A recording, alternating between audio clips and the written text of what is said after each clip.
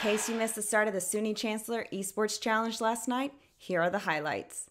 We're in the first week of the three week tournament, kicking off round robin matches to see who will make it to the elimination round next week. We had 68 matches and 35 groups kicking off this week's games. And right out of the gate, we've seen the top teams be dethroned by new teams on the scene. No team should get too comfortable just yet.